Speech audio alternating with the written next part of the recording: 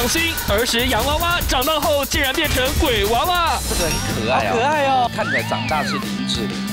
哦，是不是？这个高反差，我只能说一失足成千古恨。你们你们关台，关台，赶快关台！相信丑小鸭真的能变天鹅。玉门起铁狮玉玲珑啦！不要觉得他胖又。敬请锁定今晚九点三立都爱台综艺大热门。